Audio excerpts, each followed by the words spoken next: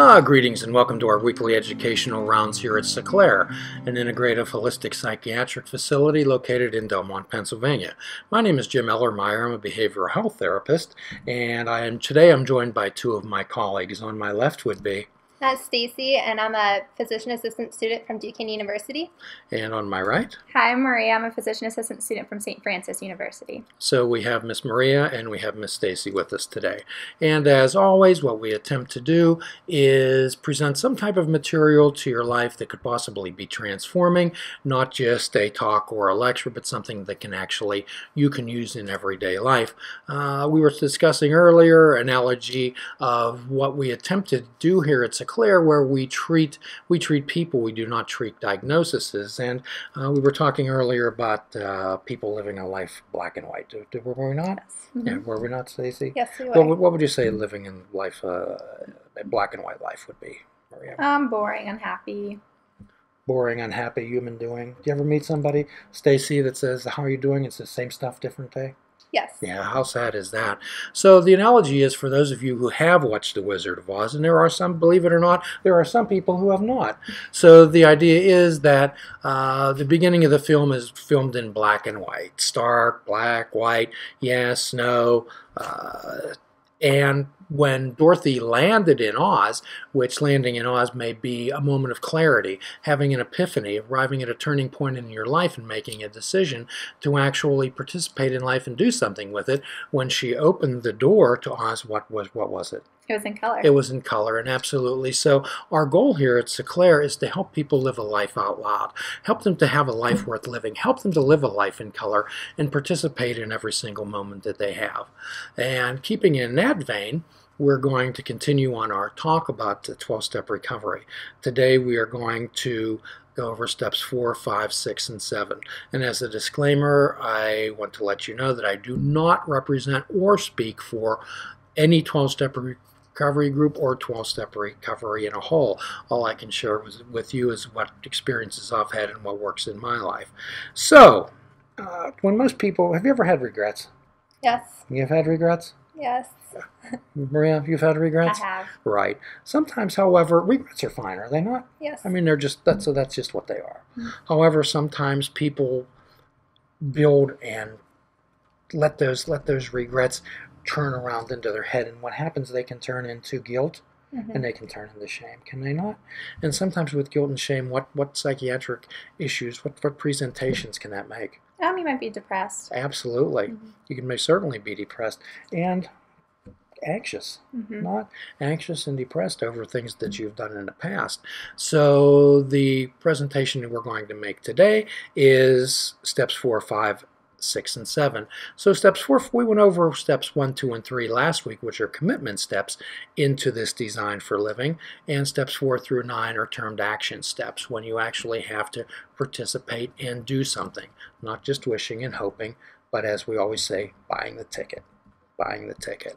So step four is made a searching and fearless moral inventory of ourselves. So what we want to do is determine whether the goods that we have are sellable or are they not. Whether the, whether the items in our past are the things that we've done, the things that we've experienced, whether they're worthwhile to keep or we want to we want to turn those over and we want to give those away. Okay, so there is a great deal of misunderstanding about uh, what the four-step inventory is. There's many things that you can find on the internet, and I've often I heard a saying the other day that it, that everything on the internet uh, is true, and that that was uh, signed by Abraham Lincoln. So the idea here is that please avoid. Uh, Please avoid unreliable sources. Uh, made a searching and fearless moral inventory of ourselves. There's three, three, three lists uh, that individuals make, Stacy. Three lists. There's there's resentments, there's fears, and there's sex. Okay. So what do we do? With contrary to popular belief, the four-step inventory is not from your earliest recollection until five minutes ago. You write everything down. That would take forever. So three steps resentments fears and sex so in a resentment list we make four columns four columns on the first column we say what that resentment is so what would be what would be without getting into great detail what would be a resentment of yours a resentment you have in your life that you've been holding on to Um, maybe not applying for a cer- to go to a certain school Not that I applying? wanted to go to. and you're still holding a little bit of resentment on that Um, yeah. Okay, and I guess that resentment would be against yourself. Yes. Okay, ideal, ideal. So in the first one, we put that what that what the resentment is, and then we put what it affects. Okay, it might affect your self-esteem. It might affect your self-concept. It might affect your pocketbook. It might affect relationships, your health, anything in that life. Then in the third column, we put what it was. Okay, what was that resentment? In the however, the fourth column, Maria, is the most important one. Okay, and that's the part I played in it. Remember, this is not another person's inventory. Okay, this is not another person's inventory.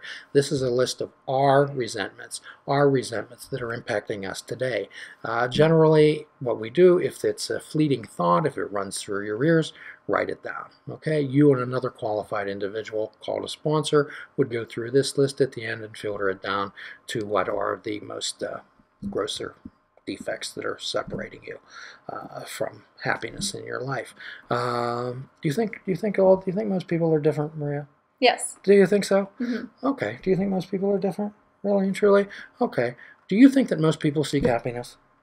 Yeah. Yeah. Do you think that most people try to deal and avoid suffering? Mhm. So how are people that different? True. That's true. When we boil it Point down made. to when we boil it down to that, and that's basically what we're trying to do here. Okay, we're trying to find happiness. We're trying to deal and deal with suffering in an appropriate way, and try to avoid it.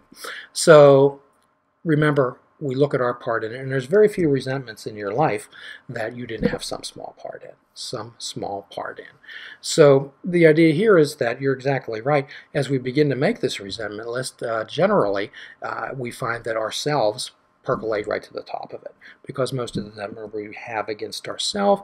As we get further into the steps, when we get to making amends and forgiveness, uh, the hardest thing to do in any type of recovery, and we're all in recovery from something, are we not?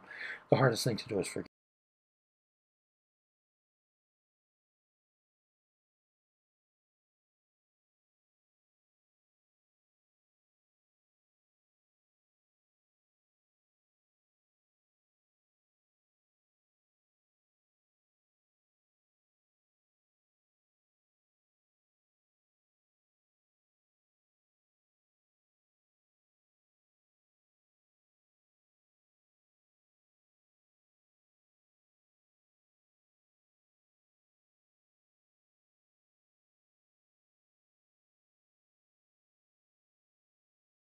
People leave out of this inventory is the fear of being found out.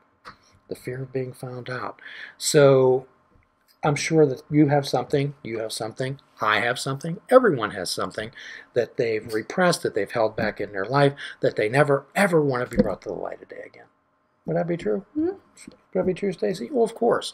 So what that does is create a large stone. It's like carrying around our life with this huge stone on us, okay?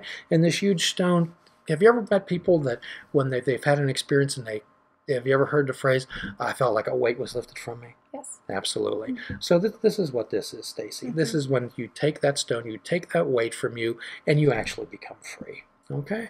So the fear of being found out. Remember that it's our secrets that keep us sick. It truly is. And as we always say, secrets are like vampires. When they come out into the sunlight, they vanish. They vanish. They, they're, they're exposed. It's like telling the truth. You only have to tell it once. Mhm. It may be like spitting out tacks. However, you only have to tell it once and it definitely improves your memory, does it not? Now, the sex part of it is one of the most misunderstood inventories. It's not your orientation, it's not the consensual partners that you've had, it's not the acrobatic positions you've been in, it's where you've been dishonest honest dishonest or selfish in an emotional or relationship with another human being where you've been selfish or dishonest in an emotional or a sexual relationship with another human being and who has not okay who has not we've all we've all used people shamelessly in our lives because at some point in our lives perhaps we've been selfish and self-centered have we not have you ever been that way Yes. Absolutely. And Maria? Mhm. Of course, and we all have been. However, that can be a good thing when we it helps us deal through life. However, when we hurt people in a selfish or dishonest way, then we we want to we want to look at. And remember, this is not for guilt. This is to bring those regrets out and turn them into something productive. We want to bring them out into the sunshine. We want to bring them out into the light of day. Right? Okay. So as 12-step recovery is a spiritual-based program where we where the true like any type of it's not a religion, however, most faith spiritualities attempt to remove the bonds and barriers, the obstacles that separate you from the divine, the creator, a higher power, whatever whatever you want to say it, okay? So these boulders are in, in the way of, of a, a connection and a bond with the universe, the divine, the all, God, whatever you want to call it. Okay? So we make a conscious decision to be ready, to be ready to make a decision to have the creator, God, the divine, remove these defects of characters. That's a decision, is it not? And we've gone over the three frogs on the log, right? Yes. Okay. Three frogs on a log. They all made a decision to jump. How many are left on a log? All of them. All of them. All of them. Because all they did was make a decision, correct? Mm-hmm. So the idea here is that in number seven, then we take the action. We ask the Creator, we ask God, we ask the Divine to remove these defects of character. We willingly, we talk, we always talk about choice we make a choice to be willingly turn these over. We make a choice, do we not? Right. Do we not? So the idea here is to not to delve into someone's guilt and shame. The idea is is to take those ruminations, to take those stones and bring them out in, into the light of day and give them away. And hopefully you'd become lighter. Mm-hmm. Would you become lighter? Absolutely. So, and again, getting back to step number five, where we admit to creator, of the divine, and another human being, the exact nature of our wrongs, you sit down with another qualified individual that you have absolute confidence in. And you regurgitate all these things to this person. And they're experienced in these type of things it's an interactive type of type of experience. They share some things in their life you share some things in yours and hopefully and hopefully you can both help each other through the process. The idea is to get this out of between your ears out of your body get the stones away put them out into concrete, put them out into put them out into the public, put them out into really, put them out into the sunshine, as we call the sunshine of the spirit. Would you like your Would you like your spirit to be shining? Yeah. Would you like your spirit to be shining, Maria? Mm-hmm. Fine, and that's my hope for everyone today. My wish that you, your spirit shines and soars. Uh, so we'll be uh, we'll be wrapping things up today, and we're going to ask uh, we're going to ask Miss Stacy to let us know, let the individuals know how they can send any comments, criticisms, our ways. All are welcome. To continue the conversation, please like us on Facebook or follow us on Twitter under Seclair Life. You can also find this and other grand rounds on youtube.com backslash Seclair Video and find audio versions on iTunes, Stitcher, Spreaker, and iHeartRadio. And please visit seclair.com for more about us and other articles on our great blog. And as always, Maria, we give a free prescription, do we not? We do. Do you remember what it is? Um, to go fishing. To go fishing, we offer fruits, nuts, and vegetables, unplug your television, and to take up fishing. And for a truly mindful experience, what do we do? Fish without We bait. fish without bait, right? So life without expectations. So until next time, as always, your uh, your assignment is to be good to yourself and to do a do an act of kindness for another each day. Thank you so much for joining us.